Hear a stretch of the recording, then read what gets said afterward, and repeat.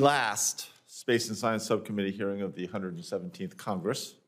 Um, Landsat at 50 and the future of U.S. satellite-based Earth observation.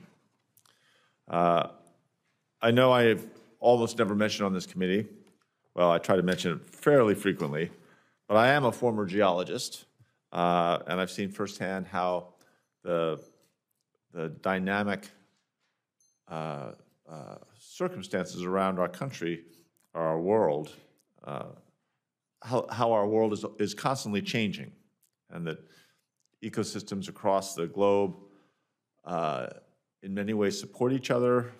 Oceans affect forests and plains, and uh, we should understand what, what, the phrase surf, turf, and what's above the earth uh, are all crucially interconnected.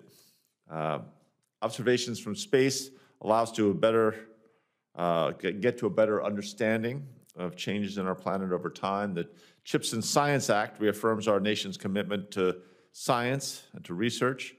Uh, today, we're going to examine important scientific missions carrying, uh, carried out by important partners uh, in government and academia, the commercial sector, uh, all playing a role and all interconnected. Uh, Earth observation provides key data that serve many purposes. Uh, farmers can serve or can measure uh, soil moisture to make sure they, they can improve crop yields. Weather, uh, the National Weather Service forecasts to alert residents of hurricanes and tornadoes. Uh, in the case of emissions, we can, we can detect and increasingly measure uh, fugitive emissions, such as methane from oil and gas wells.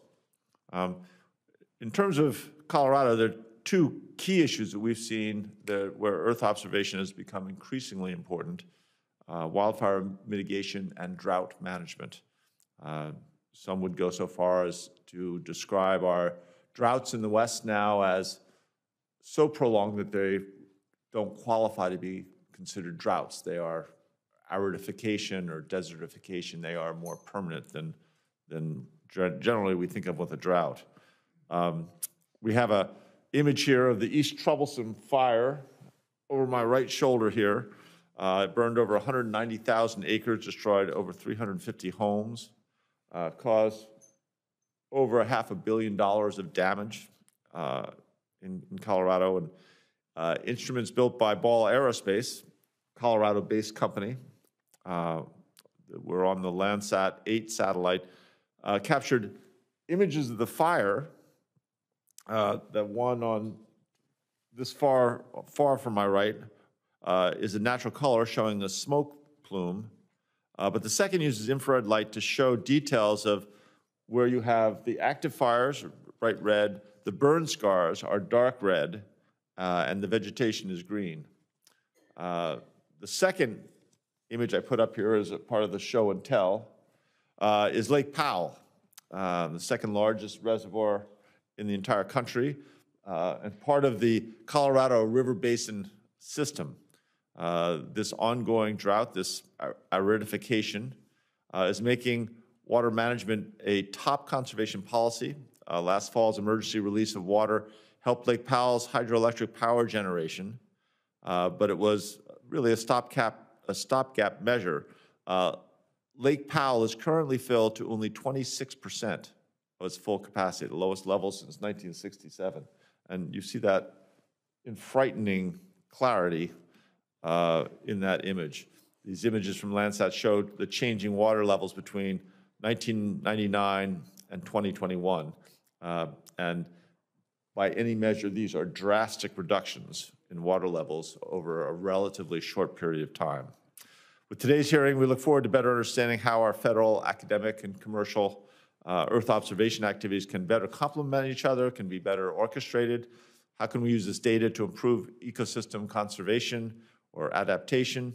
And what benefits uh, can emerging technologies like artificial intelligence or cloud computing provide for future Earth observation?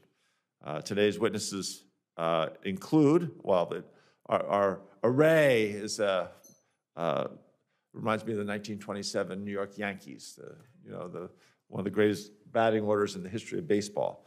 Uh, Today's witness panel uh, brings immense expertise. Uh, Dr. Steve Volz, Assistant Administrator for Satellite Information Services, uh, and leads NESDIS, at NESDIS, I should spell it out, at, at NOAA.